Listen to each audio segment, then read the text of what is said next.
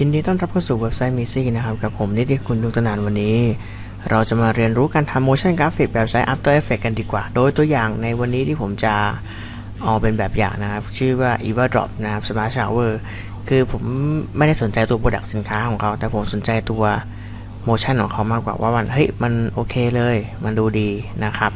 และนี่ก็คือตัวอย่างเขาต้องการพรีเซนต์ตัวสินค้านะครับ จริงๆมันก็มีเสียงแหละแต่ว่า ผมไม่ต้องการเสียงเขาแค่อยากจะดูโมชั่นมากกว่า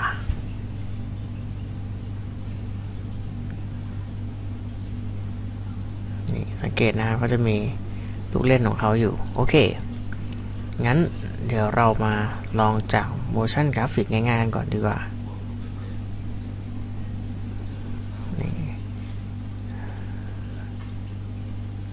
นี่อันนี้ก็เก๋ดีนะครับ นี่สิสังเกตนะครับตัวสินค้าของเขา จะมีลากเส้นปึ๊บปึ๊บปึ๊บปึ๊บอ่าอันนี้ง่ายอันนี้ง่าย เดี๋ยวเรามาแคปเจอร์ภาพกันก่อน เอามาทำดับเป็นตัวอย่าง หรือไม่เอาดับก็ได้วาดเองเลยดีกว่า ผมก็เปิด Illustrator ขึ้นมานะครับนิวขนาดงานก็ 1920คูณ1080 แล้วกัน ง่ายๆ 1920 1080 นะครับ ก็โอเคแค่นี้เป็น RGB Advanced หน่อย RGB โอเค เอ่อ background ผมลงเป็นสีเทาไว้ก่อนดีกว่า จะได้สบายตานะครับสีขาวบางทีดูมาก ๆ ก็จะปวดตา ไม่เป็นการถนอมสายตาเลย โอเค ต่อจากนั้นนะครับผมลองคิดตัวสินค้าขึ้นมาแล้วกัน วาดตัวสินค้าขึ้นมาง่ายๆ อันนี้คงไม่ต้องอธิบายนะครับว่าสินค้าต้องวาดอะไรยังไง เพราะว่ามันก็แล้วแต่เราจะดีไซน์สมมุติผมลองดีไซน์ว่าสินค้าของผมเป็นกล่องวาดกันแบบโง่ๆนี่แหละแต่คราวนี้นะครับมันมีเทคนิคนิดนึงครับว่าเราจะมาดูความแตกต่างกันนิดนึงว่า ระหว่างนะครับ ระหว่างเป็นกล่องสี่เหลี่ยมธรรมดาสมมติเอากล่องกล่องหน้าตาแปลกประหลาดหน่อยละกัน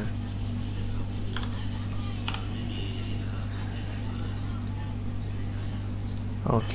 อย่างนี้นะครับสมมตินี่คือ product สินค้าของผม ผมทำตัวอักษรเหมือนตัว M แล้วกันจะได้รู้ว่าเป็นมิซี่นะครับมิซี่ปึ๊บนี่ลงนี้ปึ๊บขึ้นนี่แล้วกันปั๊บ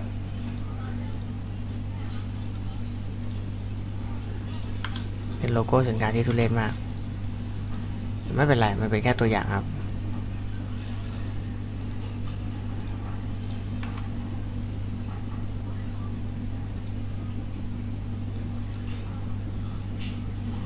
อะสมม ติผมพอใจแล้วแค่นั้นแหละนะครับ คราวนี้ไอการลากเส้นแบบเมื่อกี้นะครับ เดี๋ยวขอเติมเส้นอีกสักหน่อยหนึ่งประมาณนี้เนาะ duplicate เส้นหน่อยเป็นช่องระบายอากาศกด control D ได้นะครับ duplicate special เหมือนวายาอ่าเติมด้านหน้าอีกนิดนึงมันดูโล่งมาปึ๊บปึ๊บนี่อะสมมตินี่คือตัวกล่องสินค้าของผม หนาบางไม่เกี่ยวนะครับ เราก็ปี้ Ctrl C ได้เลยครับ เปิดโปรแกรม After Effects ขึ้นมานะครับ เปิดแล้วนะครับก็กด New Composition นะครับ ก็ 1920-1080 สัก 500 frame ก็พออ่าเดี๋ยวยกจอกลับมาก่อนเอา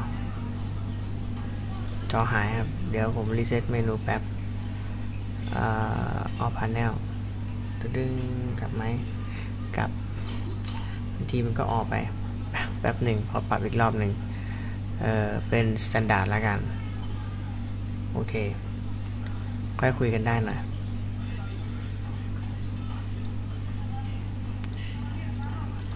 โอเคนะครับ สมมติเราเลือก background ก่อนงานของผม background พื้นเป็นสีเขียวอ่อนๆออกเทาๆนิดๆ แต่ขาวๆนะครับ จะไม่เข้มเกินไป แล้วก็สร้าง solid ขึ้นมาหนึ่งอันสีอะไรก็ได้ครับ ช่างมัน แล้วเรากดคลิกที่ตัว solid ก่อนนะครับ แล้วกด Ctrl V นะ object ของเราเนี่ย จะมาเป็นเส้นหรือว่าเป็นเป็นเชฟเชฟอย่างเงี้ยนะครับเอฟเฟกที่เราจะใช้นะครับ ถ้าเป็นลักอินนะครับ ผมแนะนำชื่อว่า 3D Stroke บอกเลยว่าเยี่ยมและจบงานเร็วมาก แค่นี้ลากใส่ปุ๊บใช้ได้เลย อ่ายังใช้ไม่ได้ เพราะว่ามันยังไม่ทำอะไร ปรับขนาดก่อน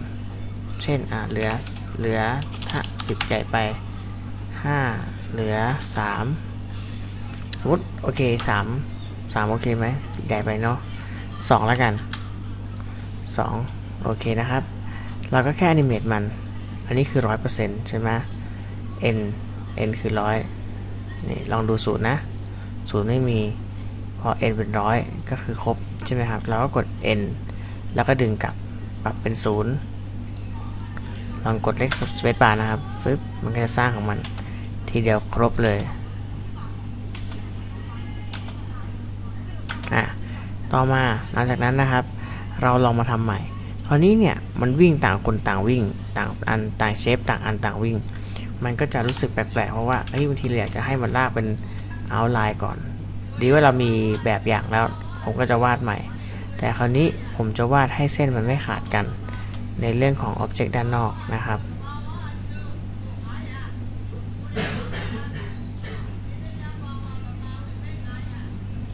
ทุนนี้จะยากนิดหนึ่งห้ามเส้นต่อกันนะครับ ผมจะวาดไม่ให้เส้นต่อกันไม่งั้นเดี๋ยวพัง ให้แค่เกือบๆต่อกัน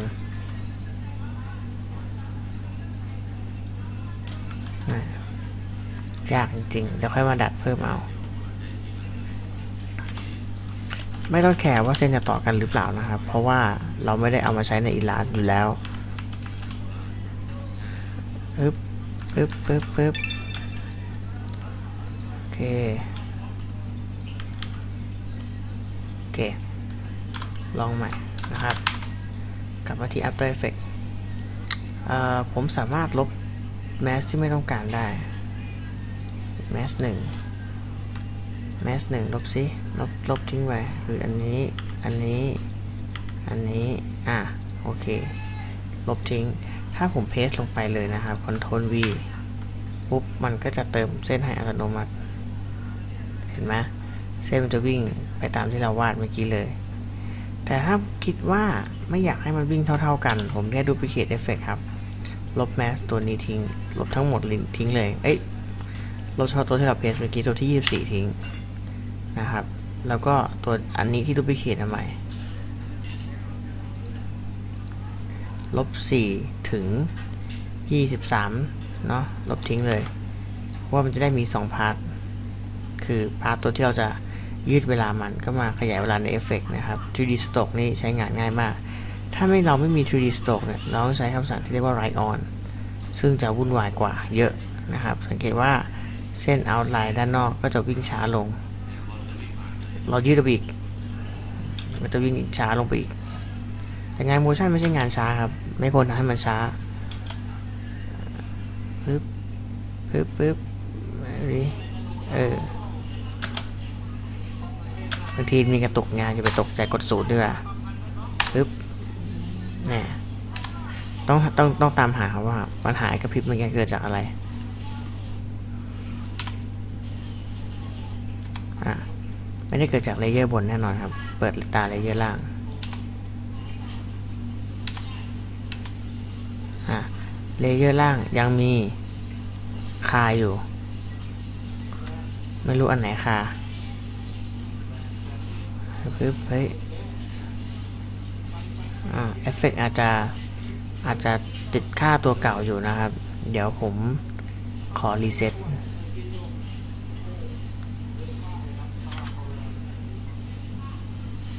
โอ เคหายละ ก็ key ใหม่ศูนย์เจ็ดสิบห้าเป็นร้อยแค่นี้ครับ เป็นการแยกสองตัวอ๋อลืมเปิดตา layer บนแม่ลืมได้ไง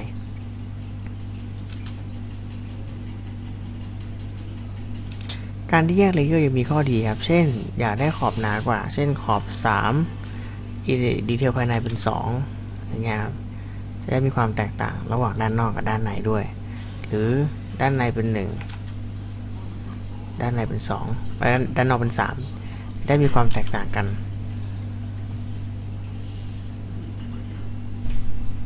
เห็นไหมครับ ง่ายๆแค่นี้ก็ได้แล้ว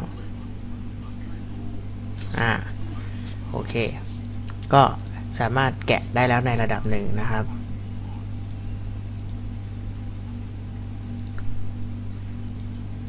ดูก่อนมีอะไรน่าสนใจอีก เนี่ยสังเกตนะครับ เส้นด้านในเขาจะบาง เส้นเอาลายจะส่วนใหญ่จะน่าจะสมมติ3ข้างในนี้จะเป็น 1 ก็ได้แต่อ็อบเจกต์รูปทรงเขาสวยไงผมมันขี้เกียจทำมันต้องดับเยอะ มันต้องใช้เวลาผู้คุณที่เรียนก็ไปศึกษาต่อเอง โอเค ต่อมานะครับ ลองดูเอฟเฟกตัวนี้นะครับ ตัวนี้พลิกๆเป็นเส้นๆ อันนี้จริงๆก็ใช้อิลาทำได้เหมือนกัน เช่นเดิมนะครับำในอิลาจะง่ายจะค่อนข้างง่ายเลยทีเดียว ลบทิ้งไอ้นี่ไม่ใช้วางไว้ สร้างวงกลมขึ้นมาครับ วงกลม กด alternate shift นะครับ จะได้ใหญ่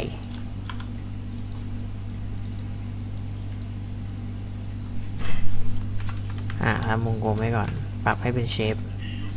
สีขาวอย่างนี้นะครับ แล้วเราก็ ดูพิเคตมัน ย่อมัน มีหนาใช่ไหมมีบางแต่คราวนี้งงเลยแม่งขาวหมดปรับแต่เอาลายแล้วกัน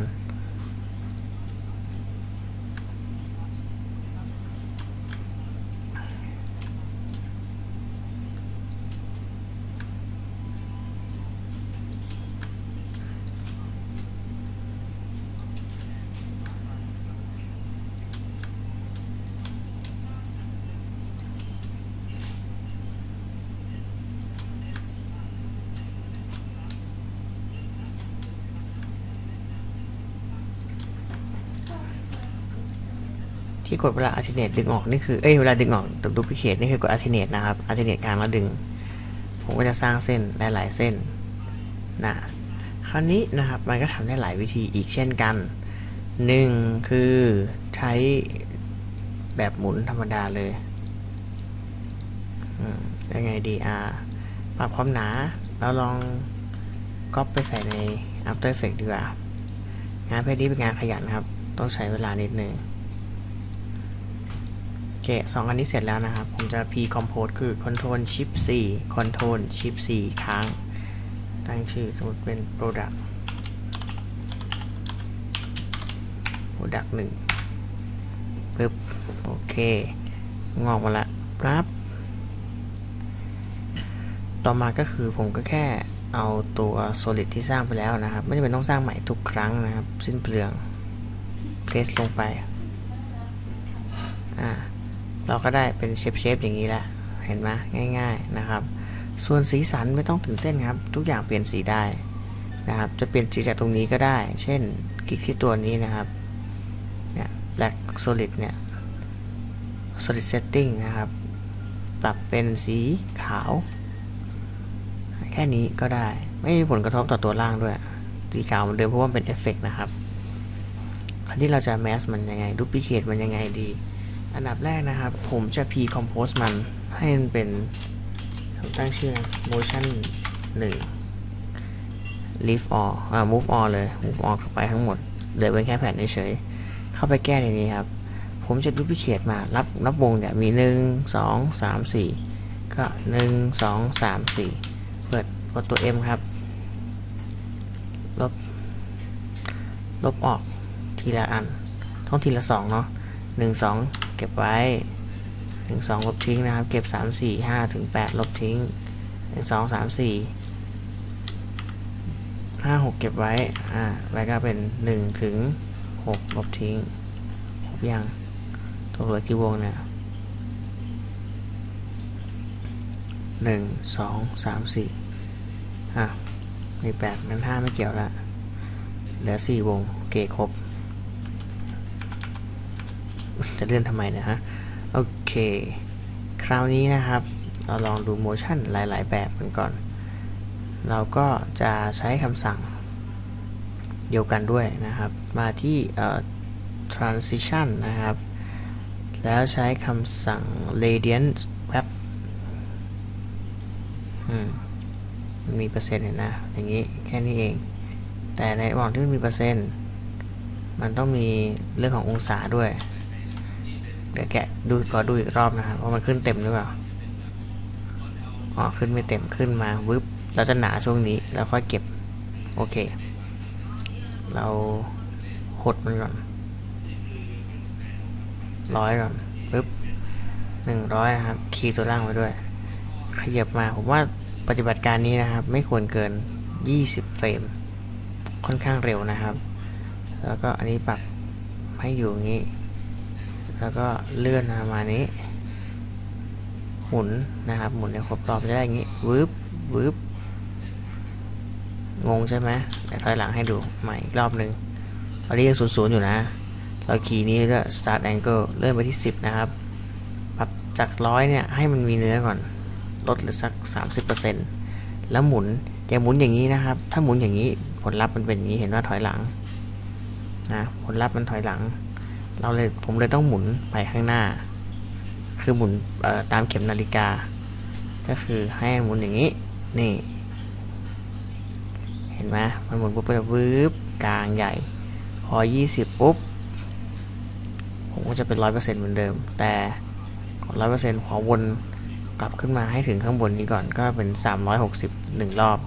อันนี้เป็น 100 จบ แค่นี้ครับฟึบฟึบ วื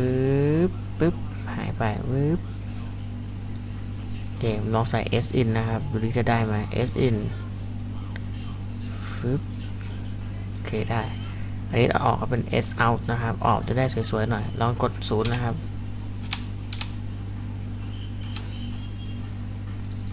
ตามไลน์ที่ใช้ไม่เยอะ หดเข้ามาก็ได้ครับ ไม่น่าเกิน 75 frame เพราะว่ามันเป็นแค่ motion สั้นๆนะครับ กดเลขศูนย์ดูก่อน อ่าโอเค ถ้าคุณสิ้นคิดสิ้นคิดคืออยากทำง่ายๆนะครับ Copy อันนี้เลยเพจให้อีก 3 ตัว control เนี่ย control shift เลือก shift แล้วกด V control V ปุ๊บมันก็จะเท่ากันหมดเห็นนะ ซึ่งไม่มีความแตกต่างอะไร เราก็ง่ายๆครับถอยหลังก่อน อยากให้มันไม่เท่ากันก็ขยับทีละ2 frame 2 frame ก็ได้อะ paste 2 frame paste 2 frame paste อะได้มีการเฉลี่ยต่างกันแล้วถึง ต่างกันถึง 6 frame โอเค กดศูนย์ดูใหม่ฟึบฟึบ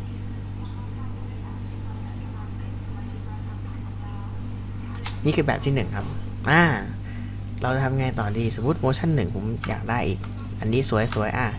duplicate เป็น motion 2 นี่คนละชุดแล้วนะครับ motion 2 คืออีกตัวหนึ่ง motion 2 เนี่ย ผมจะปรับใหม่ แก้ไขใหม่ ให้มันขึ้นลงพร้อมๆกัน e e ที่ลากครอบ Ctrl A เนี่ยกด e แล้วปรับเฉพาะไทม์ไลน์ของ Radiant แบบคืออยากจะให้ตอนขึ้นลงเท่ากัน ตอนขึ้นลงเท่ากันนะครับ ปรับนี่เลื่อน ตอนเริ่มต้นให้เท่ากัน ตอนจบให้เท่ากันแค่เรื่อง keyframe ครับปึ๊บปึ๊บปึ๊บแค่นี้กดทำลายเข้ามาก็ได้ใช้อยู่สามไม่ถึง 30 เฟรมด้วยซ้ำโอเคกดศูนย์ดูใหม่ เห็นนะว่าตรงกลางจะดูไม่เท่ากันแต่ตอนขึ้นตอนจบจะเท่ากัน นี่ก็เป็น motion graphic ได้อีกแบบแบบ อีกแบบหนึ่งเอกหรือว่าอีกประเภทหนึ่งก็ได้นะครับ อันนี้ก็ง่ายๆ โอเค ลองดูแบบแบบแรกครับ ความรู้สึกที่ให้ก็แตกต่างกัน เราก็ใช้แค่ 30 frame แล้วก็เล่นเหลือแค่ 30 ก็พอ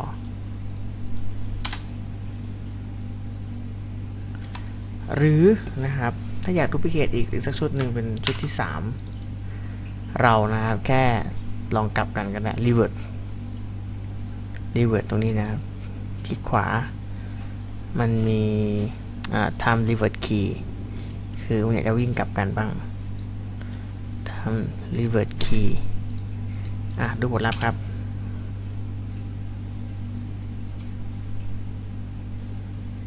ก็กลับกันแค่นี้ง่ายๆคำสั่งง่าย ๆ นะครับเดี๋ยวผมลากครอบทุกตัวเลย คลิกขวา รีเวิร์ดทั้งหมดอีกรอบหนึ่ง ก็กลับกันอีกทีหนึ่งก็ได้แวบ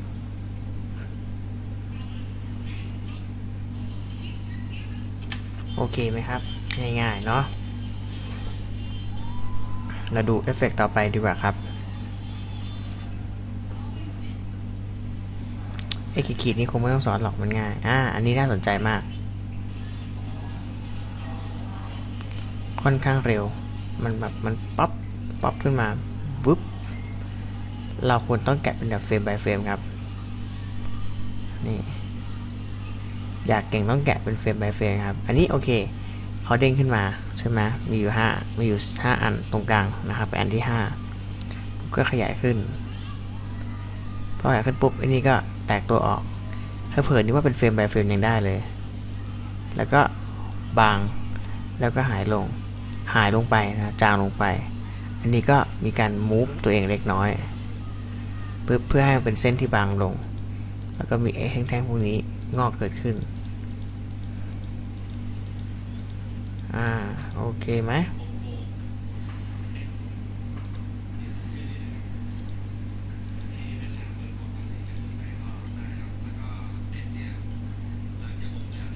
โอเค เรามาดูกันเลยดีกว่าว่าเราจะทำได้ยังไงนะครับ นี่ไม่ใช่ละเราทิ้งแบบเราสร้างแท่ง บางๆนะครับบางๆ แท่งบางๆงานกราฟิกต้องเป็นแท่งบางๆครับจะได้สวยๆเราก็ให้มันชิดตรงกลางทั้งหมดชิดกันเองนี่แหละอ่า duplicate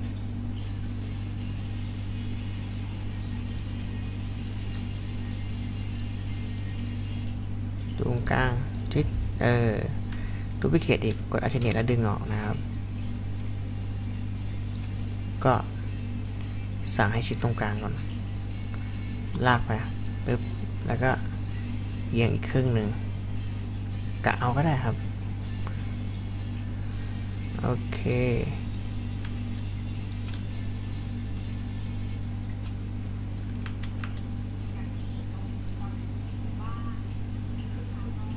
พอไหมสมมุติอยากได้อีก อ่าไหนก็ดูพิเคตอีกครับ ง่ายดีลากขอบเลยทั้งหมดดูพิเคตเนี่ยละเอียดยิบแน่นอน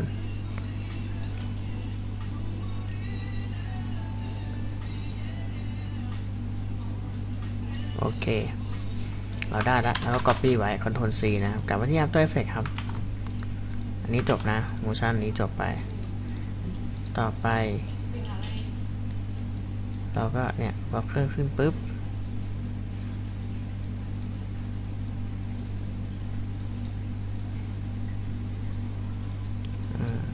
อันนี้ก็โผล่ขึ้นมา เพื่อบดบัง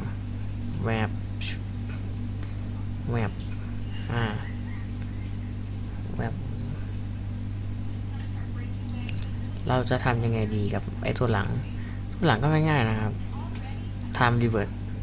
เอ่อกด Ctrl Alternate T นะ time enable time remapping ผมกดคีย์เก็บไว้ก่อน แล้วผมก็เลื่อนเลือกคีย์ตอนที่มันขึ้นมา คีย์ตอนต้นนะก๊อปมาเพสตรงนี้ แล้วก็ลบ key หลังนี้ทิ้งที่ key หลังนี่คือเวลาปกติของมันที่ห้าร้อยอันนี้ผมเหมือนจะถอยหลังเวลามันวืบแล้วก็วืบถอยหลังกลับหายไป ในเวลาที่เร็วขึ้น วืบนะมันขึ้นช้า เหมือนถ้าพูดตามความจริงก็คือเหมือน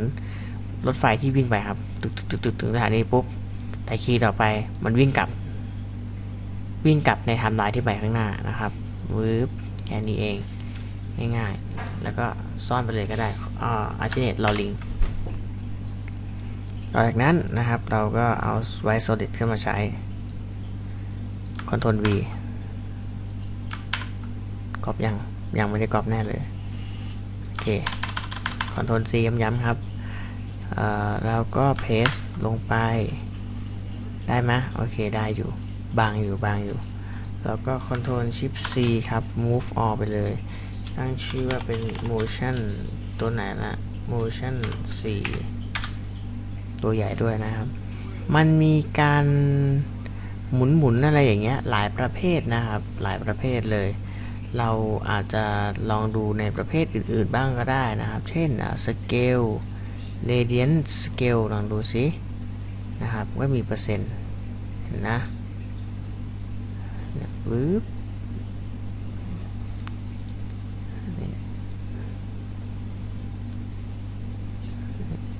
อย่างนี้ก็มีชอบไหมอาจจะไม่ชอบเพราะว่าขอบมันฟุ้งๆใช่ไหมอ่าลองดูสิ iris นะครับ ก็มี iris point ลองปรับนี่อันนี้ก็ได้นะครับ ยิ่งน้อย ยิ่งน้อยก็ยิ่งไม่สวย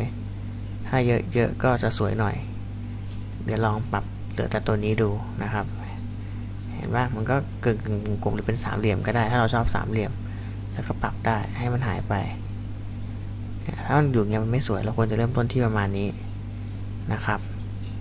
ฟีเตอร์ไม่ต้องใช้ต้องการคมๆ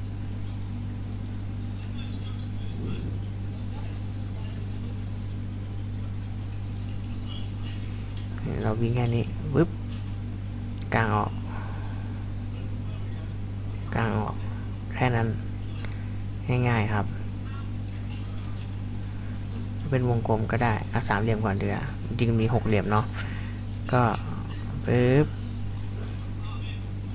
วงกลมวิ่งจะเสร็จแล้วปุ๊บประมาณถึงตรงนี้นะครับอ่าไอเนี่ยก็ขยายตัวหรือหดลงก็ได้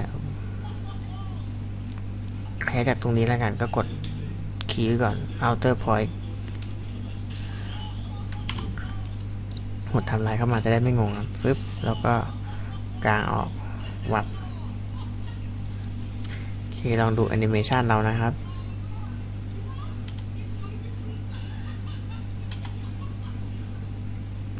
ฟึบอะ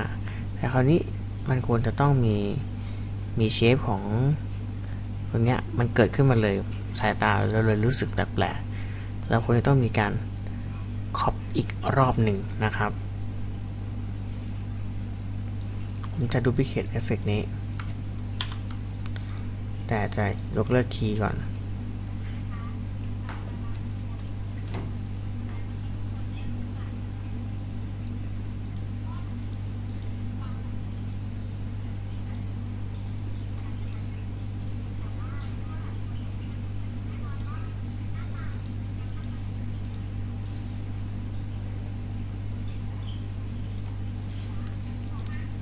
อั นี้ไม่เหมาะ อันนี้ผมใช้แมสธรรมดาดีกว่า สร้างวงกลมขึ้นมาวงหนึ่งครับ กดที่ตรงกลางนะครับ คลิก คลิกตรงกลางนี้ แล้วก็กดชิปคอนโทรลลากข้อไว้ เลือกเลื่อนนิดนึงให้อยู่ตรงกลางของสามเหลี่ยม อย่างนี้นะครับ แล้วก็แค่animate มัน mask path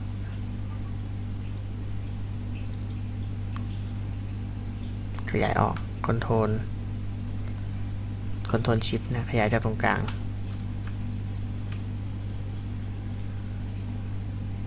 คือเป็นการคุม scope เท่ากับว่าพอที่คุม scope ได้แล้วนะครับ ไอ้ข้างในก็เล็กลงก็ได้ อย่างนี้ใช่ไหมเล็กลง แล้วก็ไปขยับไอ้ตัว mass part นี้ให้เล็กลงตามไปได้ด้วย หรืออย่างนี้ก็ได้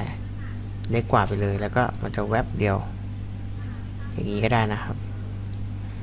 ถ้าตรงกลางมันดูสั้นไปแล้วก็ไปยืดมัน ให้มันจบเร็วขึ้น อย่างนี้ หรือประมาณนี้ยังไงก็ได้ แล้วแต่ความชอบ มันก็ฟุบปุ๊บ อะ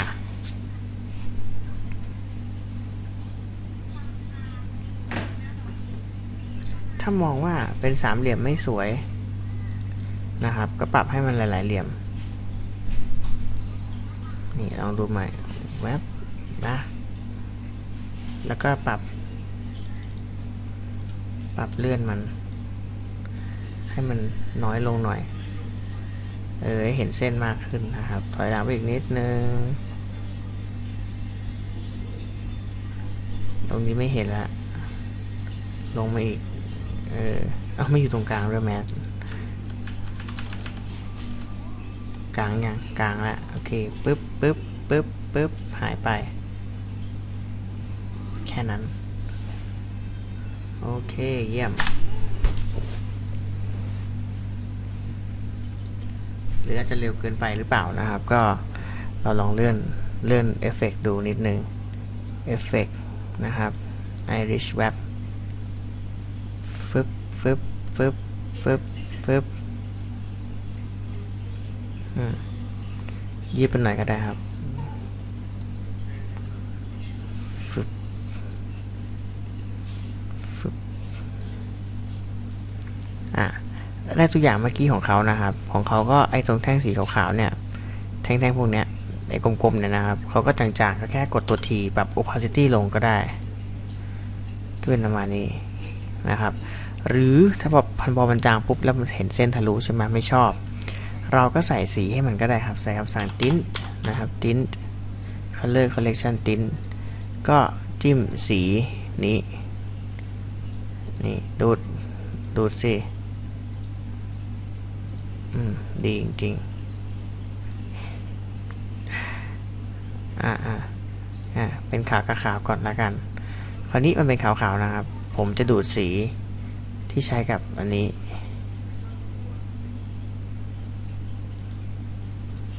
อืมทำไม่ดูดยากดูดเย็นจัง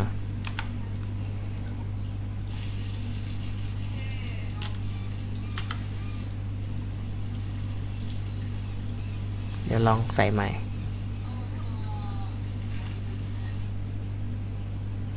โอเค ปกติคือเราสามารถเลือกสีได้ครับ เลือกสีได้ ก็อาจจะให้ออกขาวๆไปเลย อย่างนี้นะครับ คือให้ดูเหมือนจางกว่า แต่ไม่ใช่สีอันนั้น เดี๋ยวปรับกรอบสีจาก composition setting ก็ได้ ดี นี่ control C เลย อะเดี๋ยวนี้สีเดียวกันมันอ่อนไปก็เอ้ยมันมันสีเดียวกันก็ปะมันขาวขึ้น อย่างนี้ก็ได้คืออ่อนเป็นขาวเหมือนเหมือน transparency แต่ไม่ใช่สีขาวนะครับ แล้วก็ต้องดูไอ้เส้นนี้ไอ้ตรงเส้นนี้มันมันโอเคแล้วหรือเปล่าให้มันแวบหลอกตาเรา หรือย้ายไว้ย้ายไปอยู่ข้างใต้ ให้เอกลมๆเนี่ยทับไว้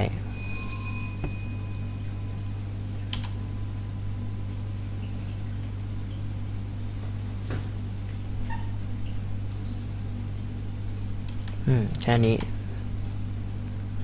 โอเค ต่อจากนั้นนะครับ เดี๋ยวเราดูเอฟเฟกต่อไป ไอ้พวกนี้มันมันชิวๆแล้วคงไม่ต้องสอน อ่า อันนี้น่าสนใจอยู่ครับว่าเป็นแอนิเมชันไอ้ตัวนี้ก็คงไม่ต้องสอนเพราะว่ามันก็ธรรมดานะครับ อันนี้เป็นจุดๆวิ่งวิ่งจริงๆมันก็ง่ายนะ แล้วก็ เอ่อ ธรรมดาไป อันนี้เลื่อนเข้าธรรมดา อันนี้ก็ธรรมดา สวัสดีค่ะพี่แอนได้มาเหรอฮะ โอเค อะ อันนี้ก็ธรรมดาใช้กับเมื่อกี้ก็ได้นะครับ อ่า มีอันนี้ ขีดขึ้น อันนี้นี่เนี่ยขีดปุ๊บปุ๊บสองสเต็ป เดี๋ยวเราพอดก่อนแล้วกดทีละเฟรมน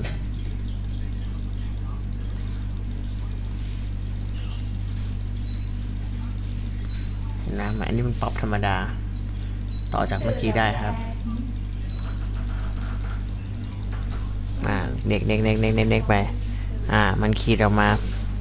ประมาณหนึ่งนะครับ ขีดออกมามาหนึ่งวึบนี้ก่อน กลางออกเฉยๆเนาะ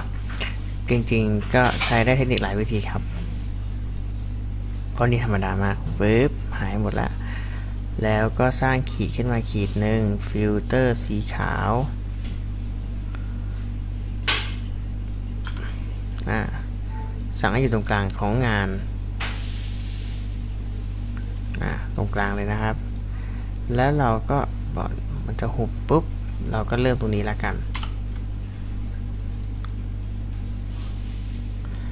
อขอเครื่องมือนิดนึง เครื่องมือผมหายเฮ้ยกดผิดเลย อ่าไม่เป็นไร เราย้ายแมนนวลก่อนๆก็ได้นะครับ กดตัว Y แล้วก็ดึงไว้ตรงกลางเดี๋ยวอื่นล็อกไว้เลยอย่ายุ่งกับมัน กดวางระยะอยู่ตรงกลางนะครับให้ได้ตรงกลาง ถ้ามีปลั๊กอินนะครับ ก็ผมใช้ปลั๊กอินอยู่ มันก็พูดเลยว่าทำงานได้ค่อนข้างง่ายขึ้นเยอะเลย ถ้ามีปลั๊กอินนะครับไหนเนาะปลั๊กอินผม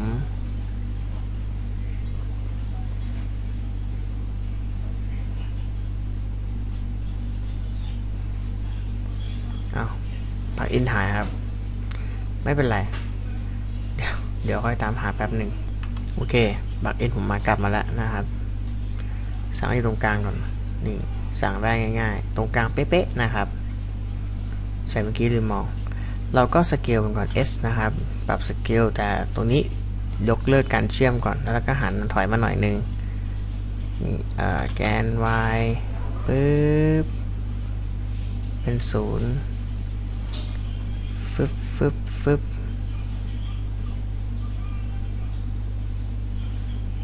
ฟึบฟึบฟึบอย่างนี้ แล้วก็ใส่ S in เข้าไปนะครับ มันจะได้ดูมันขยับเข้า การใช้ S in S out เป็นประโยชน์จริง ๆ นะครับ ลองดูงี้ มันจะวึบเห็นไหมจะวึบมันกลางออกปุ๊บกางออกพอไหมเนี่ย ไม่พอก็ขยายไปออกไปอีกหน่อยก็ได้ปึ๊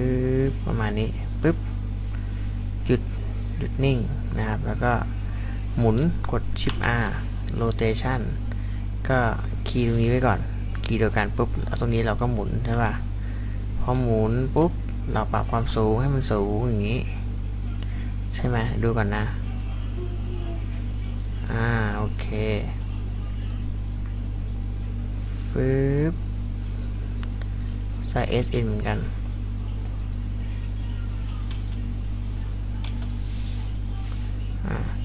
ขาดอย่างเดียวครับ ขาด S out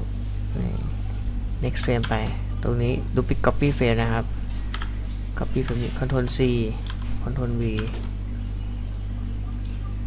S out ฟึบโอเคลองดูกดศูนย์ดู อาจจะเร็วเกินไป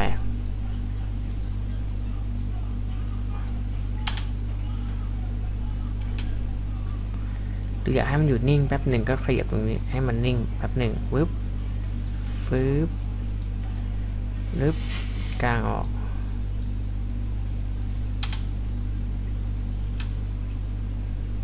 ช้าไปนิดหนึ่ง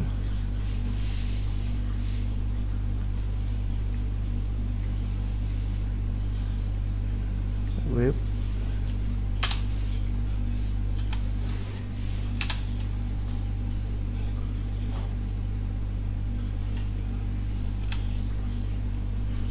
เวียงวึบ ปึ๊บคราวนี้ถึงคราวที่ต้องduplicate แล้วครับ ครึ่งครึ่งนะครับ ครึ่งครึ่งเพื่อเพื่ออะไร เพื่อแบ่งการทำงานคนละครึ่งครับ เดี๋ยวมันต้องแยกแบ่งครึ่งซ้ายขวา เราไม่สามารถแบ่งครึ่งในนี้ได้นะครับ เราก็ duplicate แล้วกัน แล้วก็ล้างค่าทั้งหมด PSR ใช้แค่ S กับ R ก็ปิดตัวนี้ไปแล้วก็เปิดข้างหลังต่อนะครับ duplicate สองอัน ปรับ position ทั้งคู่ position key position นะครับกด stopwatch ทั้งคู่ แล้วก็ใส่เป็น S out นะครับ S out จะได้ออกแบบเนียนๆหน่อยขยับไปสักประมาณ 5-6 เฟรมก็พอครับ แล้วก็อันหนึ่งเลื่อนไปทางซ้ายนะครับ อันหนึ่งเลื่อนไปทางขวา เลื่อนไม่พอครับ มันต้องหนาขึ้นด้วย เมื่อกี้ของเขาจะหนาขึ้นนะครับ ถ้าจากการสังเกตก็กด Shift S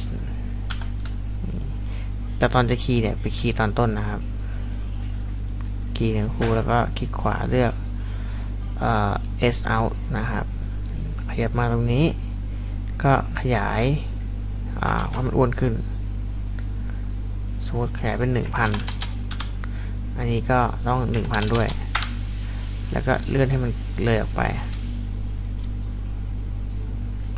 ฟึบแค่นี้วึบโอเคกดศูนย์ครับ อ่า โอเค ง่ายๆ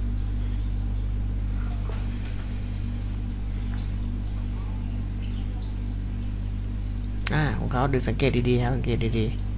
ๆนี่หดมีหด มีหนาแล้วมีหดด้วย มีวืบหนาขึ้น ช่วงนี้สังเกตว่าจะหนาขึ้นเยอะเลยนะครับ ก็สมมติหนาแปดร้อยนี่ก็คีย์หนา800เหมือนกัน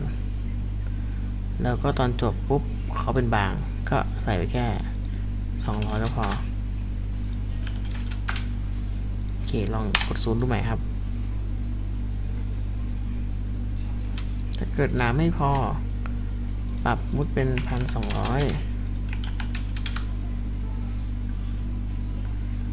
อ่าลองดูใหม่ฟึบอยากได้หนา เลยอีกนิดนึงก็ขยับถอยหลังไปหน่อยฟึบอย่างนี้ ดูไกลก็ขยับเข้ามาครับฟึบกดศูนย์ใหม่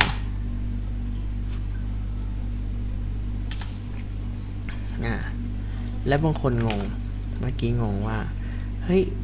แล้วมันเหมือนมันใช้การเปลี่ยน scene ถ้าสมมติเราใช้การแมส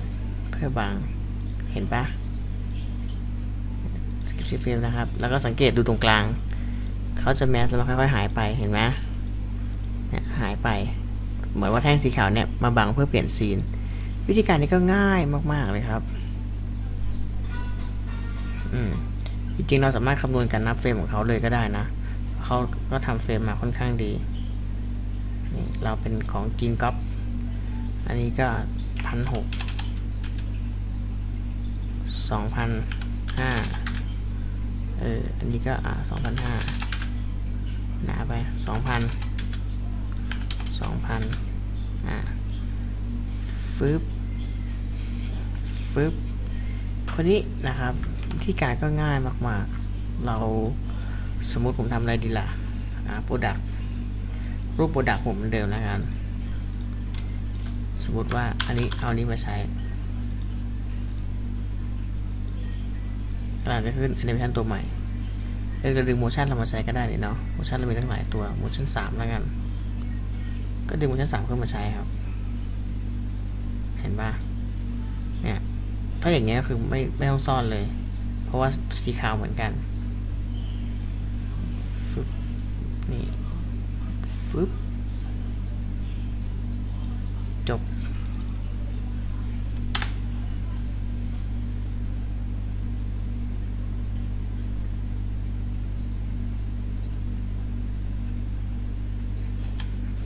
รู้สึกว่าสองอันนี้จะเคลื่อนที่เร็วเกินไปนะรู้สึกได้เลยว่าสองอันนี้เคลื่อนที่เร็วไป คนดูดูว่าจะปวดหัว แล้วก็แค่ยืดออกไปนิดนึงกด Alternate นะครับ แล้วดึงเฉพาะฝั่งขวา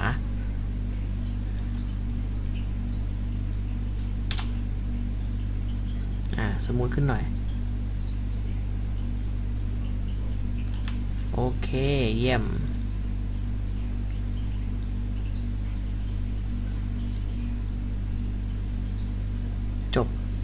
บริบูรณ์อ่าสมมติรู้แล้วใส่ขอบใส่อะไรดี พอขึ้นนี่ปุ๊บผมจะพิมพ์ข้อความว่ามี C แล้วกัน M E S I S E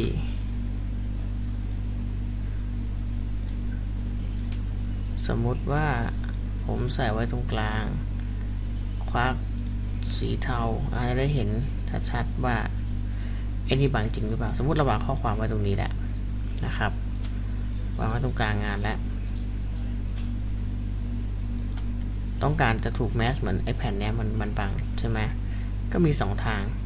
คือวิธีการที่ง่ายสุดก็คือดึงข้อความนี้ไว้ข้างล่างใต้ไอแผ่นเนี้ยจริง ๆนะครับ แล้วก็ต้องพีคอมถ้าเป็นฟอนต์ต้องพีคอมเพราะว่าไม่งั้นมันแมสไม่ได้อ่าได้นี่หว่าลืมลืมลืมมันแมสได้แต่ว่าผมไม่ค่อยชอบเท่าไหร่ เราก็เริ่มใช้ตั้งแต่ตั้งแต่ช่วงนี้แล้วกันขึ้นมา ใช่ไหมกด M เอ่ออันนี้กดไอันนี้รอบอยไม้ก่อนกดทำลายเข้ามาแล้วก็กด Mask เปิด Mask Mask ผ่านดึงออกก็นับเฟรมนะครับปึ๊บอันนี้หมดแล้วก็ขยายตาม แค่นั้นเลยเนี่ยฟึบเนี่ยเปิดมาก็ฟึบเลยฟึบเห็นไหมมันถูกซ่อนอยู่จริงๆ แค่นี้ครับง่ายๆ ถ้าปกติที่เรามีอะไรเยอะๆแล้วก็ทำเป็น composition นะครับ new เป็น composition ไว้แล้วก็เอามาใช้ได้เลยอืมจากนั้นผมจะเอา motion 3 มาเล่น เล่นต่ออีก เอ่อ จะมาทำรูมากันนะครับ ผมจะทำรูมากันก็คือให้มัน motion สายกับคำว่ามีซี่เนี่ย มันรูมากัน มีการซ้อนกันอะไรกันเนี่ยนะครับ นี่อย่างนี้วึบอ่า invert สิวึบแล้ว invert เดือเราเอาตามปกติเดือ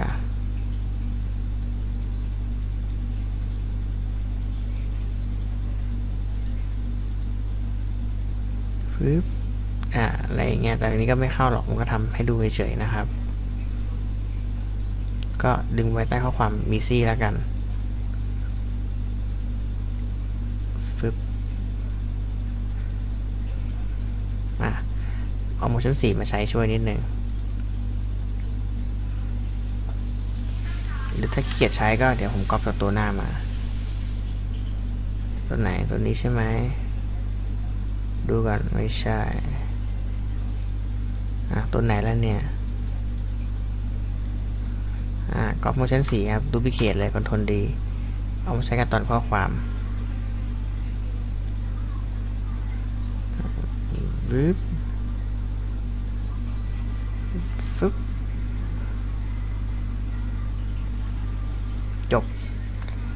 แอนิเมชันของเราก็มีเท่านี้นะครับ สั้นๆ จะใส่เสียงก็ไปใส่เอาในโปรแกรมพรีเมียร์นะครับ ไม่ต้องใส่ในนี้ก็ได้ เพราะว่ามันจะวุ่นวาย เดี๋ยวขอเซฟแป๊บหนึ่ง แค่นี้ครับ เรามา Export กันเลย แล้วก็จบคลิปแต่เพียงเท่านี้ ขอบคุณที่อดทนฟังตั้งนาน